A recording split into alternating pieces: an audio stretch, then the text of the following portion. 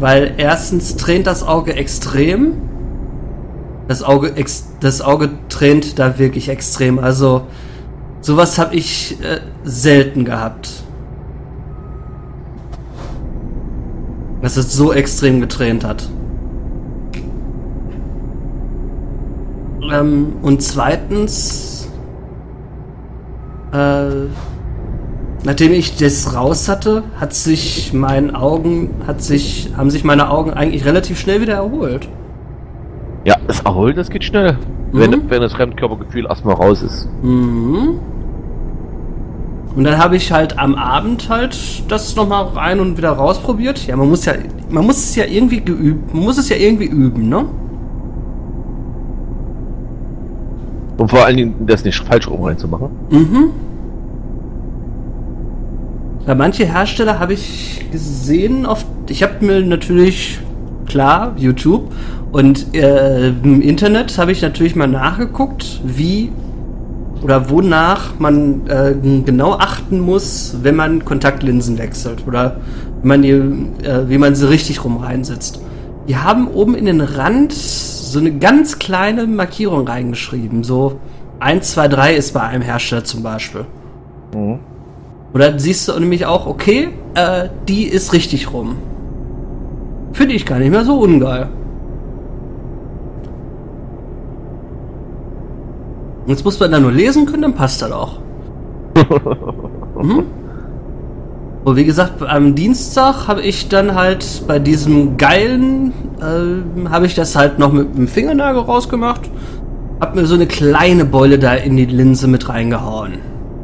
Über Fingernägel halt. Ne? Am ja. Mittwoch ist das Stück da rausgebrochen. Ja. Ja, ja. Aber wie gesagt, da muss ich jetzt wirklich erstmal gucken, äh, wie ich da weiter vorgehe. Ich weiß es wirklich noch nicht. Keine Ahnung. Okay, ich glaube, wir sind fast da. Stehen zwar, steht zwar noch 152 Kilometer. Denk dran, Fähre. Mhm. Und denk dran, Ampel. Ich halte rechtzeitig an. Aha, ich auch. Ich stehe ganz artig hinter dir. Lalalala. Und jetzt gib Gas!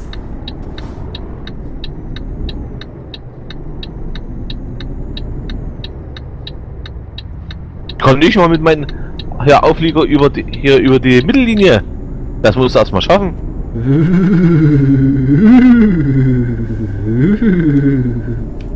Ja. Ich bin richtig stolz auf Sie, Herr Fumpi. Aha. Richtig stolz auf Sie. Hm. Solltest du auch sein.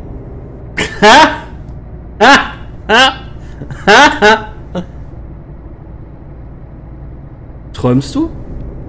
Nö. Bist du dir sicher? Aha. Aha.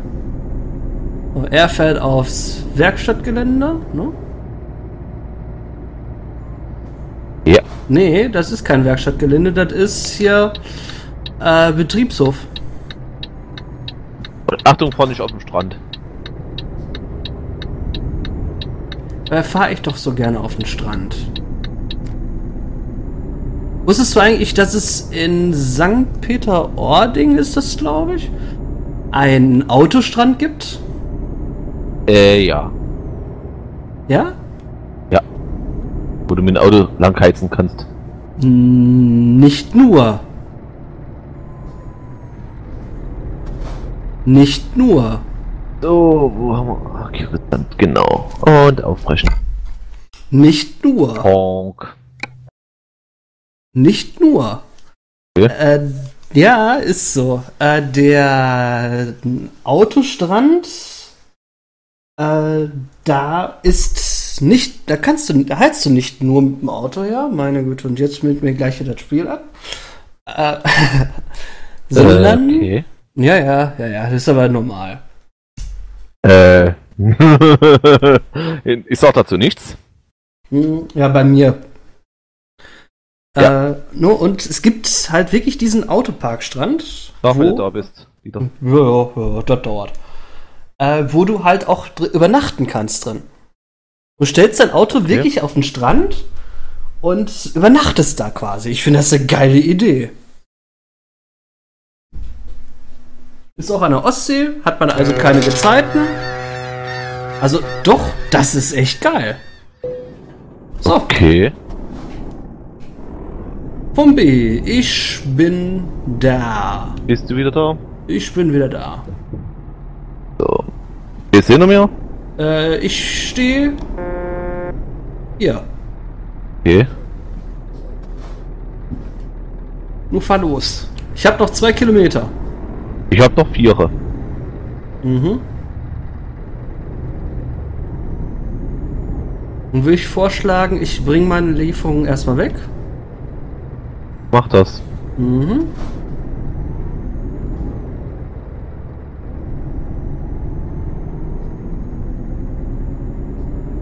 So, liebe Leute, dann woll wollen wir doch mal wissen, wie viel Schaden so gut, unser guten der Thorsten jetzt hat.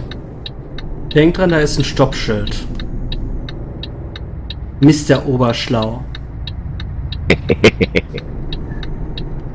Also ich schätze mal so 3-4 Prozent. Aha.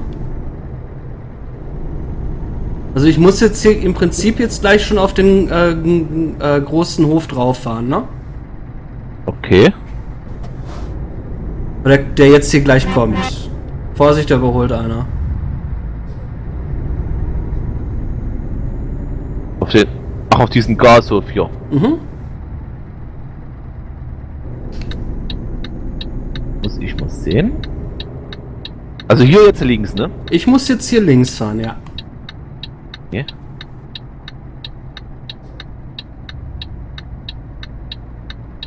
Oh, das ist aber schön, auch schön hier.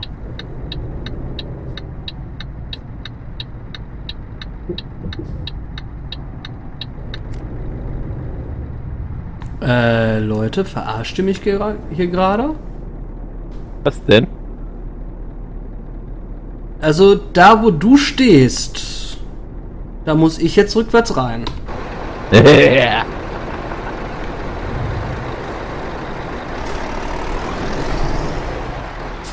ja, äh, ja, gut, okay, wie komme ich jetzt hier wieder raus?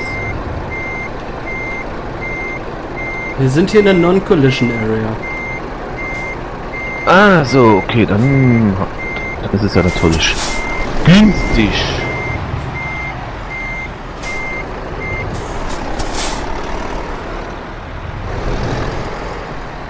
Aber ich hab's auch so hinbekommen. Ja, ich hab's auch so hinbekommen. Okay, kann ich da hinten drehen? Nein, ne? Äh, Wie soll ich denn da jetzt, wie soll ich den denn da abladen? Na komm, du, du hättest, okay, ich müsste eigentlich rausfahren und du müsstest in die, dort, du Müsste- müsstest gerade andersrum reinfahren. müsste im Prinzip einmal auf der Straße drehen. Äh, nö, du müsstest hier den, gerade den Weg andersrum reinfahren, wie ich reingefahren bin. Was? Du müsstest hin bei mir durch, also du müsstest einmal zurückkommen auf die Straße. Ja, ja, ja. Oh. Ja.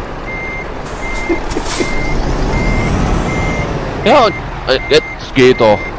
Hast, hast doch was. So, und jetzt, und jetzt rückwärts rein damit.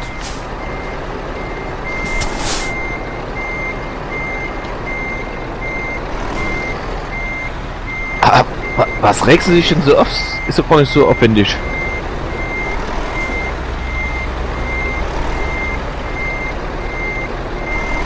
So. Schon wenn ich jetzt ein bisschen ruhiger bin, aber jetzt, da muss ich mich jetzt ein bisschen konzentrieren. Du konzentrieren.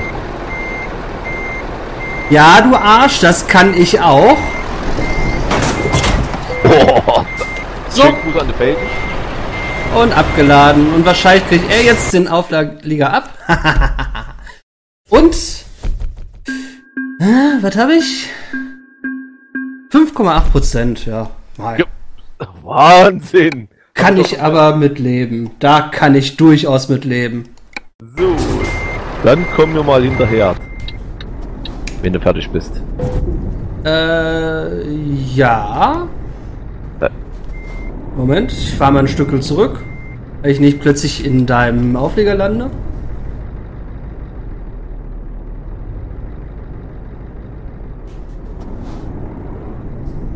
So.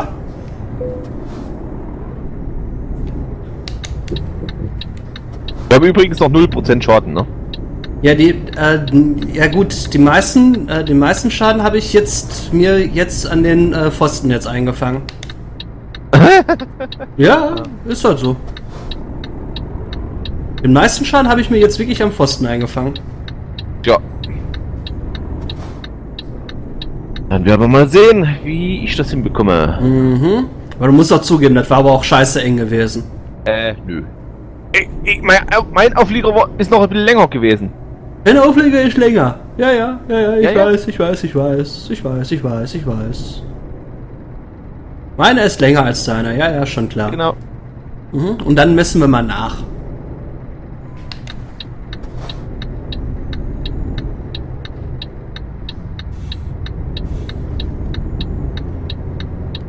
Alter, Alter, das ist natürlich eine Scheißstrecke hier.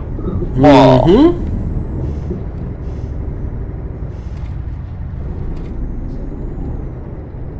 Interessant, wenn interessant. So sieht das also aus, wenn man hinter einem herfährt.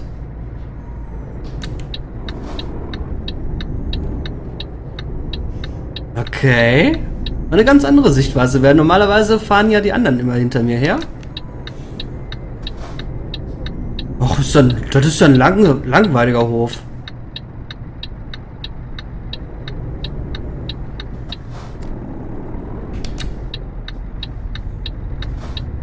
So. Wo muss ich mich hinstellen? Moment.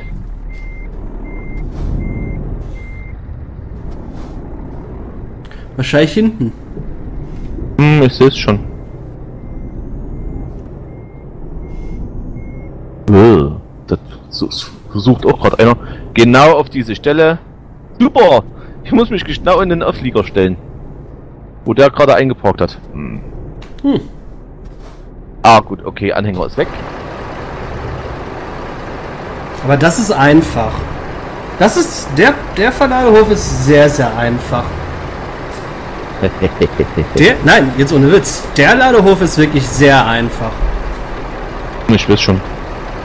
Aber dafür müsstest du echt ein Mädchen sein, wenn du das nicht hinkriegst.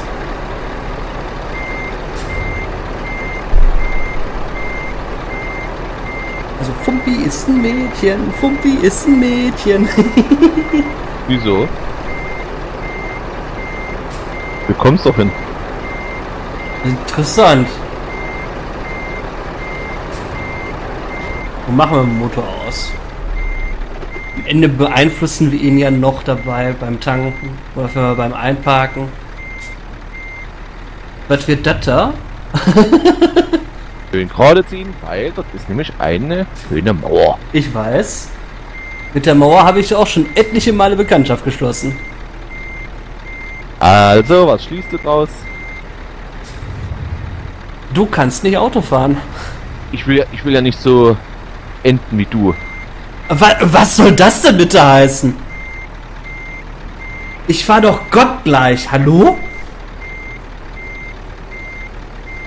Gott gleich. Okay. Ja. Nur die Pfosten hatten gerade was dagegen gehabt, ja? Ja, ja, ja. Ist klar, ne? Ja, die Pfosten hatten gerade einfach was dagegen gehabt.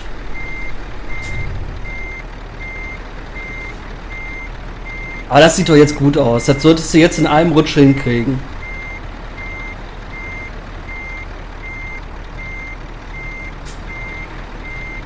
Hm, reicht das schon? Ja. Cool. Und ich habe ausgezeichnet bestanden. Keine einzige Beschädigung. Aha. Genau. So, dann Mr. Ausgezeichnet, keine Beschädigung. Stellen Sie sich mal neben mich. ja, Upsala. So. Habe ich jetzt alle Lichter aus? Ja, jetzt habe ich alle Lichter aus.